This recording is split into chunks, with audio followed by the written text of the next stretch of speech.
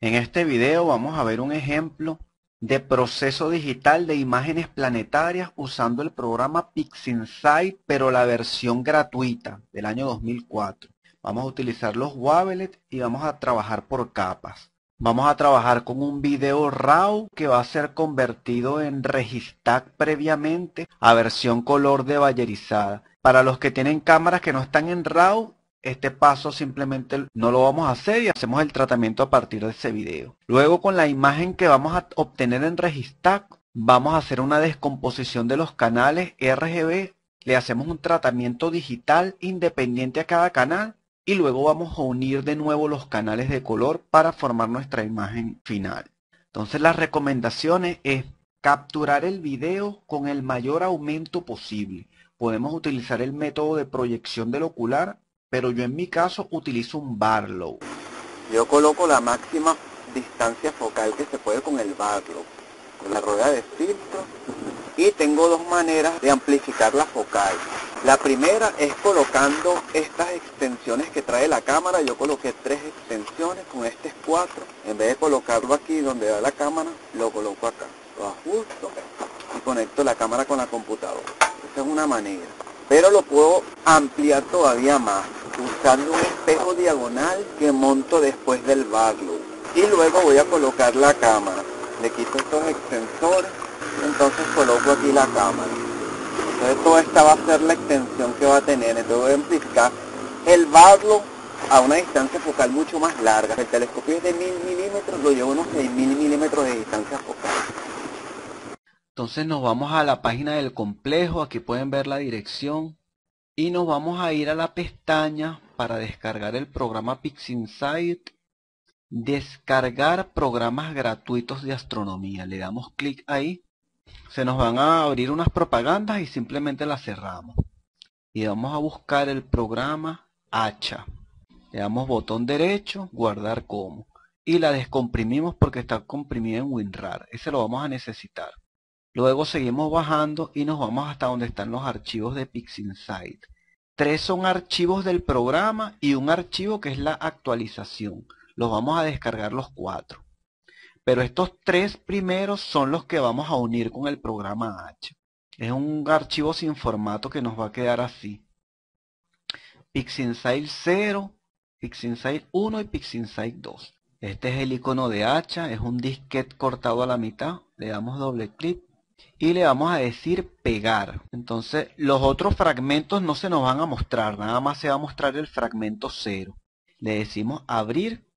Cuando él termina de hacer la operación, cerramos. Vamos a ver ahí el programa PixInsight, lo descomprimimos y vamos a tener nuestra carpeta con el instalador. Abrimos 20.8 mega. El otro archivo que descomprimimos, que es la actualización DBG, vamos a ver aquí que son las instrucciones cómo instalar DBG y lo instalamos. Aquí en la misma página del complejo vamos a encontrar una pestaña al inicio que dice captura, preproceso y tratamientos digitales. Aquí vamos a ver puros videos de preproceso y tratamientos digitales. Hay unos manuales de tratamiento digital de imágenes que pueden descargar. Y al final están los videos de Ferran Bosch este es un aficionado que trabajó en el diseño de PixInsight. Y estos son unos videos que están sobre su manejo de esa versión que era PixInsight libre edición. Aquí la tenemos. Ahí lo pueden consultar, pueden ver diversas cosas de, de PixInsight. Y en la pestaña de arriba, si nos devolvemos otra vez arriba, vamos a ver astrofotografía planetaria. En esa pestaña he hecho una selección de los mejores videos que he encontrado sobre el uso de Registag y estos programas de tratamiento de imágenes planetarias. Entonces esto es lo que necesitamos para trabajar en este video. Yo me voy a ir directamente a Registag 5. Este lo pueden descargar de la página de Registag o lo pueden descargar de la página donde descargaron PixInsight. Voy a en seleccionar, voy a abrir el video. Este que está aquí, 56. Él me va a preguntar si voy a trabajar en blanco y negro. Yo le digo que no. Vamos a deballerizar. Voy a cerrar este cuadro. Y él por defecto me tiene esta opción habilitada. Pero este video como pasa de un giga, yo le voy a colocar aquí. porque a veces no me debayeriza bien si el video tiene más de un giga y no se lo decimos al programa. Entonces vamos a alinearlo. Él por defecto tiene la calidad de los cuadros. 80% me quiere decir que él va a eliminar el 80% de los cuadros que no se parezcan al cuadro de referencia y me va a dejar solo el 20%. Yo me voy aquí a opciones y aquí en la pestaña de Bayer voy a activar uso de de Bayer. Entonces ahí ya está la imagen reconstruida en color. Aquí tenemos los cuatro algoritmos diferentes, depende de nuestra cámara. Voy a escoger un cuadro tenga la mejor nitidez posible. Este proceso ya lo conocemos de videos anteriores. Y me voy otra vez a la pestaña opciones de alineamiento región de interés. Le voy a decir que quiero un área de 256 píxeles para que me agarre un cuadro de detección mucho más grande por si el planeta se mueve. Hago clic en la imagen y le doy a alinear. Ya los pasos que vienen los conocen de videos anteriores. Ahí se salió el centrado del alineamiento. Le decimos OK y nos volvemos a parar en el planeta.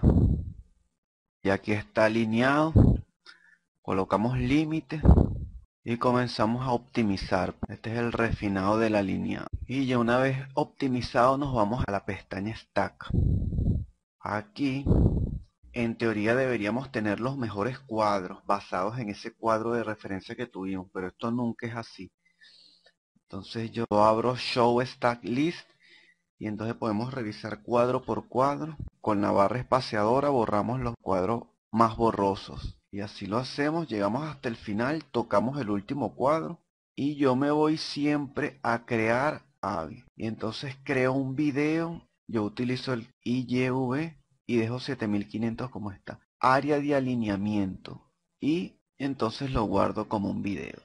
Pero ya esto lo hice yo anteriormente, no lo voy a repetir porque ya yo guardé el video.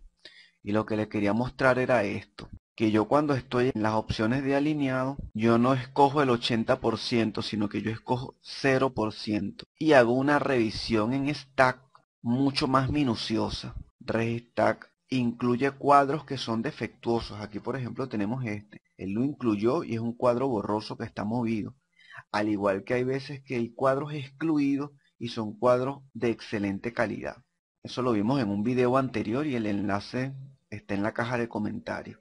Entonces yo simplemente me voy a alinear de nuevo y voy a buscar ese video que ya yo había depurado. Aquí lo tengo, voy a abrir, se ve blanco y negro, es porque tengo la opción de bayerizada activada, la voy a desactivar. Y esto es lo que vamos a tener. Entonces yo en alineamiento opciones le voy a dar 128 píxeles. Y aquí le hago un nuevo alineado. Busco el mejor cuadro otra vez, le doy en el centro y comienzo el proceso otra vez de alineado. Esto es a lo que me refería al inicio del video, que los que no tienen cámaras en formato RAW no van a hacer el proceso de bayerizado, sino que comienzan directamente desde aquí. Alineo, ya el proceso lo conocemos, ya finalizó límite y optimizar. Después del optimizado me voy a Stack, puedo repetir el proceso de nuevo, vuelvo a hacer una selección más refinada todavía, etcétera, etcétera. Este es el máximo aumento que yo obtengo con la configuración del barlo que les expliqué. Podemos obtener más aumento con el método de proyección del ocular. Yo una vez que escogí los cuadros, me paro en el último cuadro, escogido, y le doy Stack. Y aquí está la imagen apilada. Entonces me voy a la pestaña Wavelet y me voy a ir a redimensionar.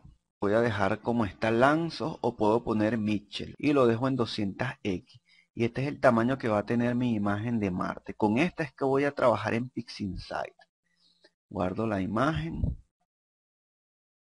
cierro aquí y me voy a la carpeta donde guardé esa imagen. La abro en Paint seleccionar todo pongo más pequeña esta es la imagen BMP que obtuve corto, la guardo. Y con esta es la imagen que voy a trabajar en PixInsight. Vamos a abrir ahora el programa PixInsight, yo lo tengo aquí. Vamos a abrir la imagen que guardamos en Registack. Abrir, buscamos el archivo, yo aquí tengo la carpeta. Esta es en miniatura. Aquí lo tengo. y abrir.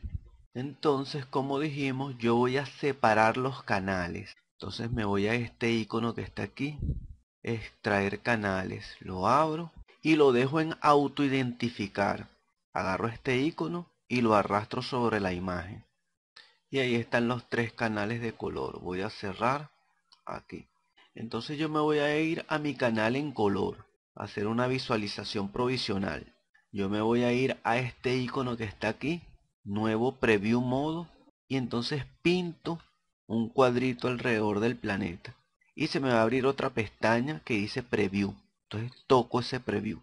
Y me voy a ir a esta que es la herramienta de Wavelet. Entonces voy a hacer una previsualización en ese preview, que también es una previsualización. Voy a utilizar una cuenta de, vamos a poner siete capas. Y esto es lineal, es decir, que voy a ver los detalles de un píxel en la imagen.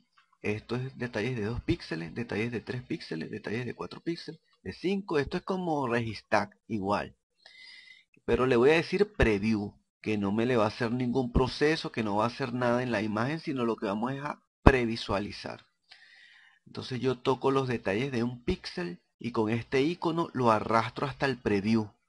Y voy a ver qué es lo que hay en esa capa de un píxel. Detalles que generalmente lo que muestran es ruido.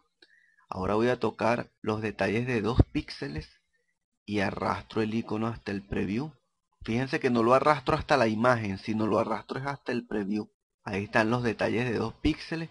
Aquí sí se me comienzan a mostrar detalles en el planeta. Me voy a la capa de 3 píxeles, lo arrastro.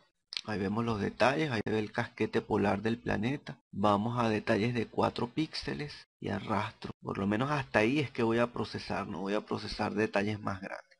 Entonces voy a comenzar con el canal rojo. Y ya sé que voy a comenzar por los detalles de 2 píxeles. Entonces aquí voy a hacer lo mismo. Voy a abrir un preview con este icono.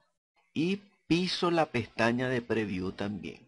Ahora deselecciono esta casilla de preview. Y ya se me van a mostrar mis wavelet normal. Entonces voy a pulsar el, la capa de 2 píxeles. Y voy a producir un bias de más 1.1. Eso es el detalle en los contrastes de los wavlets. Ahí vemos, se comienzan a ver los detalles con algo de ruido. Yo utilizo PixInsight porque PixInsight tiene una herramienta de protección de ruido mucho más poderosa que Registack. Vamos a seguir dándole vías, vamos a producir un vías mucho más alto para ver mejor los detalles. Ahí está bien, aunque con bastante ruido. Entonces vamos a intentar a eliminar el ruido este deslizador que hice Noise Reduction, que es reducción de ruido, voy a deslizarlo en Amount. Voy a subir la cuenta. Vamos a dejarlo en 3. Y entonces voy a utilizar un kernel. Esta acá significa kernel. ¿Qué significa eso? Significa que yo voy a difuminar el enfoque a un tamaño de 5 píxeles, ¿verdad? Yo estoy en la capa de 2 píxeles, pero yo lo voy a difuminar a 5 píxeles. La idea es difuminar a un tamaño de píxel un poco más grande que el que tenemos aquí escogido. Yo tengo dos y podría escoger a tres. Pero la protección de ruido va a ser menor. En 5 va a ser mayor la protección de ruido. Y esto que tenemos aquí es el número de iteraciones. Él tiene hasta 8 iteraciones. Entonces lo interesante que recomiendan los diseñadores de PixInsight es darle poca protección de ruido, pero hacerlo con varias iteraciones. Por lo menos 6 iteraciones hacer muchas iteraciones pero con un bajo valor y protege más que haciendo un proceso de mayor intensidad pero con pocas iteraciones. Vamos a arrastrar el icono. Tenemos que estar pendiente que no se nos desenfoque mucho tampoco. Se desenfocó solo un poquito. Eso es lo que debemos buscar nosotros. Yo voy a darle un poquito más de vías. Ya vemos que la herramienta de protección de ruido está protegiendo. Aquí vemos un detalle que se llama Cirtis mayor. Ahora voy a comenzar con la capa de 3 píxeles. Vamos a darle un bias pequeño, 1.2. Y vamos a arrastrar el icono. Tenemos mejores detalles. Vamos a hacer ahora una cosa. Yo voy a deshabilitar la capa de 2 píxeles. Yo le doy doble clic aquí donde está esa B verde. Y voy a solamente utilizar este deslizador que acabo de configurar. Le voy a dar. Ahí lo tengo. porque de esa manera yo solamente voy a ver el efecto que me está dando solo el deslizador de detalles de 3 píxeles. Yo pausé el video y seguí moviendo los deslizadores. Le bajé un poquito el vía a los detalles de 2 píxeles y le aumenté la protección de ruido y aumenté a 8 iteraciones. Entonces este es el resultado que yo encontré con el canal rojo. Nosotros podemos seguir probando y probando y probando hasta que tengamos los mejores resultados. Si nosotros ya tenemos un resultado que nos gusta, para nosotros no perder este proceso, toda esta serie de procesos, nosotros agarramos nuestro icono y lo arrastramos hacia el fondo. Nos va a aparecer un icono que dice proceso 01 y ese es el proceso que está configurado aquí en la ventana de Wavelet. Podemos incluso cambiarle el nombre. Pisamos arriba con el botón derecho, ponemos Set Icon Identifier lo vamos a identificar, vamos a poner Wavelet R.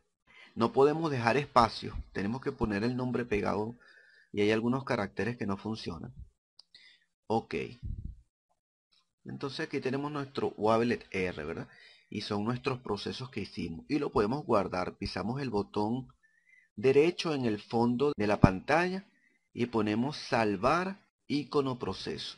Wavelet R.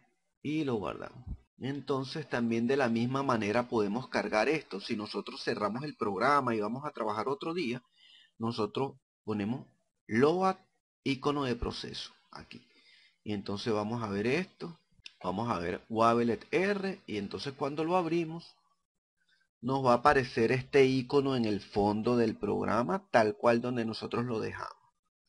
Y entonces nosotros este icono se lo podemos aplicar a la imagen. Nosotros este icono lo tocamos y lo arrastramos a la imagen y nos va a dar el proceso tal cual como nos los daría la herramienta de Wavelet como la teníamos configurada. Podemos incluso con el botón derecho le damos Launch Interface y entonces él, si nosotros perdimos toda la configuración porque estamos otro día trabajando, si le damos ahí todo lo que está aquí, toda la configuración que teníamos nosotros en la interfase, él nos las va a colocar aquí de nuevo para que nosotros sigamos modificando, sigamos haciendo procesos, eso es lo que queremos. Entonces, bueno, eso es lo que yo alcancé con el canal rojo. Ahora yo me voy a ir al canal azul. Vemos que casi no tiene detalles, no tiene nada. Vamos a abrir un preview. Recuérdense que es con un preview porque si lo hacemos en la imagen, entonces la imagen ya queda modificada. En cambio el preview no. El preview nosotros le podemos ir haciendo procesos y él se va a resetear desde cero y siempre nos va a mostrar el nuevo proceso desde cero. Si lo hacemos en la imagen, ya la imagen queda modificada y si hacemos un nuevo proceso, ese proceso se va a hacer encima del otro proceso, cosa que no ocurre en el preview. Entonces yo voy a arrastrar, puedo arrastrar el icono, este icono, o puedo arrastrarlo desde aquí, es lo, exactamente lo mismo. Voy a arrastrar el proceso hacia el preview del canal azul. Muy bien, vemos que tiene demasiado ruido. Lo primero es que tiene demasiado ruido. Lo segundo, que es algo que se, se ve muy bien, es que el canal azul es menos brillante que el del canal azul y el canal rojo que tenemos aquí. Entonces nosotros vamos a tener que modificar su iluminación con las curvas. Esta que tengo aquí, curvas. Y entonces le voy a pedir un tiempo real. Esta casilla que está aquí, la activo, la vuelvo más pequeña, esto es tiempo real. Esto lo que quiere decir es que lo que yo, el proceso que yo voy haciendo, él me va mostrando en tiempo real el cambio. Yo necesito que este canal sea más brillante, ¿verdad? Entonces yo me voy a parar aquí sobre la línea y voy a subir esa línea. Voy a darle brillo, pero le voy a dar brillo solamente allí, para que no se ponga brillante esta parte oscura, sino solo se ponga brillante el planeta, porque eso si le damos en otra parte de la curva, nos va a poner brillante el planeta. Y eso es lo que no queremos. Entonces vamos a comparar la iluminación de la curva con, por ejemplo, el canal rojo. El canal rojo está todavía más brillante, pero tampoco vamos a exagerar la iluminación. Vamos a probar allí. Entonces yo tengo mi preview todavía y voy a arrastrar este icono de la curva, lo voy a arrastrar al preview. Entonces yo creo que ahí está bien. Eso sí se lo voy a aplicar a la imagen. Ese aumento en el brillo entonces voy a cerrar la ventana de curva. No la reseteo, la cierro así y si yo necesito abrirlo otra vez, la curva la voy a encontrar tal cual como yo la dejé. Vamos a proteger más el ruido con las herramientas de protección de ruido. Yo voy a deshabilitar la capa 2 y voy a trabajar solamente con la capa 3. Entonces vamos a subir la protección de ruido hasta 46 y vamos a darle al preview. Entonces es recomendable que le aumentemos el brillo a la imagen antes de comenzar a trabajar con los wables para ver mejor los detalles de lo que estamos haciendo. Yo seguí modificando un poquito la imagen del canal azul que obtuve. Entonces yo se la voy a aplicar, yo definitivamente le voy a aplicar este proceso al canal azul. Nosotros de todas maneras en nuestra casa lo vamos a hacer mucho mejor, con más detalle, vamos a ser más minuciosos. Ahí tenemos la imagen azul. Generalmente el canal verde lo vamos a procesar con una configuración muy parecida a la que habíamos utilizado en el canal rojo. Por eso fue que yo la guardé aquí. Wavelet R, ¿verdad? Entonces vamos a arrastrar ese icono hasta acá y vamos a tener un proceso similar al que le hicimos al canal rojo ahí tenemos el canal verde yo entonces voy a cerrar la ventana de operaciones de Wavelet si yo la quiero abrir me va a aparecer con esa misma configuración que yo utilicé. Ahora nosotros vamos a unir los tres canales. Entonces para esto necesitamos una imagen de fondo. Nosotros nos vamos a ir aquí a fila y vamos a decirle nueva imagen. Como él tiene en memoria el tamaño que nosotros utilizamos en esa imagen eran 262 píxeles por 253 le decimos RGB y le vamos a decir aplicar entonces se va a abrir una imagen en negro es simplemente una imagen en negro cerramos aquí ahora ya no vamos a usar este icono que es de extraer sino este otro icono que es de importar nosotros le debemos haber hecho ah bueno aquí se me olvidó algo yo aquí el proceso del canal rojo se lo hice fue solo al preview. Yo tengo que hacérselo es a la imagen, no al preview. Vamos a la imagen. Entonces me voy a mi icono, no he perdido nada porque yo guardé el icono del proceso en el canal rojo y arrastro el icono hasta acá. El icono de procesos. Y entonces ahí sí tengo mi imagen modificada. Voy a verificar que tengo las tres imágenes modificadas, que no es el preview. Esta es la imagen. Esto es el preview esta es la imagen está modificada al azul y vamos a la imagen verde en la imagen verde yo no usé preview entonces ahora sí voy a importar canales abro esa ventanilla yo deselecciono autoidentificar lo deselecciono y él me va a escoger la imagen 01 que es el R la imagen 01G la imagen 01B que es RGB y esto que está aquí yo lo voy a arrastrar hasta mi imagen nueva. Ese icono lo, arrastro hasta acá. Y él esos tres canales me los va a unir en mi imagen nueva. Ahora yo les quiero mostrar una cosa. Yo voy a agarrar mi imagen inicial, ¿verdad? Vamos a agarrar la imagen. Yo le voy a hacer el proceso a esta imagen, que es la imagen original, sin haberla descompuesto. Y le voy a aplicar ese wavelet que yo utilicé para el canal rojo y el verde. Y vamos a ver el resultado. Lo vamos a comparar con esta imagen donde nosotros descompusimos los canales. Ahí la tenemos. Podemos comparar. Toco esta imagen. Vamos a rotar esta imagen. En proceso. Geometry. Rotar. La voy a rotar 180 grados. Agarro mi icono y lo arrastro hasta la imagen y ahí tengo mi imagen ya orientada con el norte hacia arriba o más o menos hacia arriba y el sur hacia abajo entonces listo cierro este esta ventana de rotar y ahora sí toco la imagen y me voy a ir a fila salvar como yo lo voy a guardar vamos a guardarlo en TIFF. Guardar me pregunta 8 bits y yo le voy a decir que sí. Compresión ninguna porque no voy a comprimir la imagen. Y le digo ok ahí está listo si nosotros queremos ver la configuración de los detalles y eso yo por lo menos uso el programa HN Sky. Me voy a search búsqueda y busco planetario. Entonces busco aquí en esta lista puedo irla moviendo el programa Marte. Go to, ir a Marte, me paro sobre Marte y con la rueda del ratón lo voy acercando hasta que llegue más o menos a un tamaño que yo tengo en mi imagen. Entonces configuro en este icono que tengo aquí del reloj, configuro el año, el mes, el día y la hora y minuto en la que yo vi el planeta para que me muestre los mismos detalles, la misma cara que me mostró la noche en que tomé la imagen. Y entonces me voy a internet y descargo un mapa de las configuraciones de Marte. Aquí tengo las configuraciones. Este es un mapa que produjo Demian Pitch, un conocido astrofotógrafo. Vamos a ver, vemos Sirtis Mayor, vemos los detalles del planeta, eso. Y entonces podemos hacer nuestros propios mapas del planeta. Yo aquí hice un mapa del planeta con los detalles que tenemos para esa noche. Entonces, bueno, ahora vamos a reportar la imagen. Ahora nos vamos a ir a internet y vamos a ir a la página del complejo astronómico Andrés Bello. Vamos a ir a la pestaña astrofotografía planetaria. Aquí vamos a bajar un poquito y vamos a encontrar los correos para enviar la imagen a la base de datos de la ALPO. Aquí vemos cuál es el correo para Marte y vemos cómo debemos colocarle el nombre a la imagen, el año, el mes, guion, el día, la hora y el minuto en tiempo universal y la décima de minuto.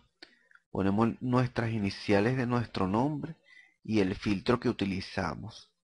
De todas maneras tenemos que abrir la imagen, yo la guardé como TIFF pero yo la abrí en Paint y la guardé como JPG y la edité también con esta información. Mi nombre, Ovare Venezuela, el lugar de donde obtuve el video y todas las cosas necesarias de información de la imagen. Esta es una imagen del año 2020. Aquí especifico que es tiempo universal. Esos datos los coloqué en la imagen como suelen hacer todos los aficionados. Entonces para reportar a Marte voy a copiar ese correo electrónico. La imagen no debe exceder 200 kilobytes a 300 kilobytes. Y yo voy a abrir el correo electrónico. Aquí vamos a crear un correo nuevo. Aquí tengo un mensaje de RGB Fotocal. Eso debe ser alguna pregunta de un aficionado. Vamos entonces a redactar. Aquí vamos a pegar el correo electrónico. Las imágenes para cada planeta tienen un correo distinto en la ALPO. Vamos a adjuntar la imagen aquí. Buscamos la carpeta donde tenemos la imagen. Y aquí tenemos el archivo. En JPG. Ya le pusimos sus parámetros, la fecha, etcétera. Ahí se está cargando. Entonces, imagen para la ALPO. Le escribí. Vamos a enviarla. Yo también la voy a enviar al observatorio virtual PBOL. Aquí tenemos el correo electrónico, esta es otra base de datos. Copio la dirección de correo electrónico y la pego aquí en un nuevo mensaje. Entonces pongo asunto imagen Marte y voy a cargar la imagen que va a ser la misma imagen pero le voy a poner un guion más y le pongo el planeta que estoy enviando. En este caso es Marte y la envío. Aquí me apareció un mensaje de aviso que el mensaje con la imagen de la Alpo no llegó. Entonces hice varios intentos, le puse en asunto imágenes, porque no le había puesto nada, salió sin asunto, pero ese no fue el motivo. Entonces lo envié a la dirección de la Alpo, pero de Júpiter. Nosotros vamos a esperar, a los pocos días nos van a enviar un mensaje respondiéndonos el correo. Aquí vemos un ejemplo de un correo que ya yo envié hace tiempo. Hola Oliver, gracias por tus imágenes de Júpiter. Y aquí tenemos otro correo anterior. Hola Oliver, gracias por tus imágenes. Cuando ellos te envíen este correo, entonces ya sabrás que cargaron las imágenes en la base de datos. Vamos a ver un ejemplo de unas imágenes que yo envié. Envié imágenes de Júpiter, de Saturno, de la Luna y de Marte. Aquí están los archivos. Vamos a buscar, por ejemplo, este de Marte. 2018 09 19 02 y 35. Nosotros nos vamos aquí al icono de la Alpo y abrimos la página de la Alpo. Entonces nos vamos a ir a sección de galerías. Nos vamos a imágenes de Marte y nos pregunta en qué aparición fue que reportamos la imagen. Esa fue la oposición del 2018. Nosotros nos paramos sobre cualquier imagen, nos va a decir la fecha y la hora. Entonces nos vamos, ponemos siguiente, next, revisamos la fecha, 26 del 1 del 19, todavía falta. Siguiente, y así nos vamos hasta que lleguemos a la imagen, aquí está. 2018 09 19 0145 Oliver López y R. Kurt. Aquí también envié otro porque yo envié dos imágenes de Marta en esa oportunidad. 1809 190235 Pulsamos sobre la imagen. Ahí vemos que la han visto 499 veces esta imagen. Aquí la tenemos. Oliver Christopher López, Bovare, Venezuela. Todos los datos es importante que nosotros las imágenes que procesemos las enviemos a una base de datos porque nosotros invertimos mucho tiempo en procesar imágenes planetarias y lo importante es que estén a la disposición de la comunidad científica en una base de datos, no simplemente es enviarla al Facebook, tenemos que ponerla a disposición de los astrónomos profesionales que están haciendo investigaciones para que usen nuestras imágenes para las investigaciones que están realizando. Aquí finalizamos este video y lo importante de este video es que nuestras imágenes las debemos reportar a las bases de datos internacionales